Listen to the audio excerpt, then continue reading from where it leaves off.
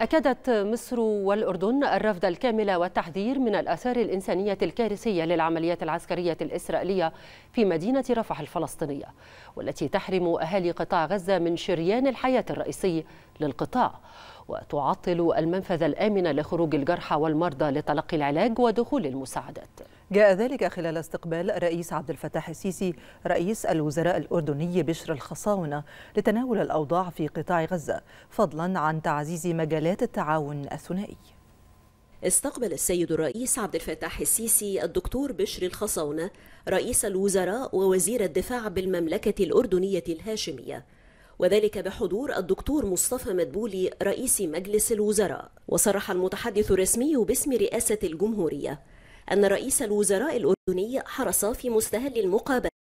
على نقل تحيات وتقدير الملك عبد الله الثاني عاهل الأردن إلى السيد الرئيس وهو ما ثمنه سيادته مؤكدا الاعتزاز بالعلاقة الخاصة والتاريخية التي تجمع بين شعبي وقيادتي البلدين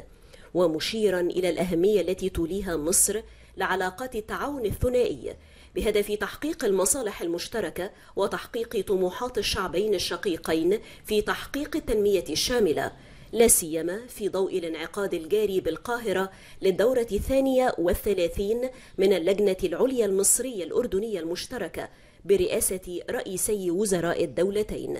وأضاف المتحدث الرسمي أن اللقاء تناول أيضا الأوضاع في قطاع غزة التي تمر بمرحلة غاية في الدقة في ضوء الجهود المضنية للتوصل إلى هدنة شاملة في القطاع وتبادل للأسرى والمحتجزين بما يضمن الإنفاذ الفوري والكامل للمساعدات الإنسانية بشكل مستدام وبلا عوائق للحد من المأساة الإنسانية التي يعاني منها أهالي القطاع حيث تم في هذا الصدد تأكيد الرفض الكامل والتحذير من الآثار الإنسانية الكارثية للعمليات العسكرية الإسرائيلية في مدينة رفح الفلسطينية التي تحرم أهالي غزة من شريان الحياة الرئيسي للقطاع وتعطل المنفذ الآمن لخروج الجرحى والمرضى لتلقي العلاج ولدخول المساعدات الإنسانية والإغاثية. وفي هذا الصدد تم تأكيد أن الأوضاع الحالية تفرض على المجتمع الدولي الاطلاع بمسؤولياته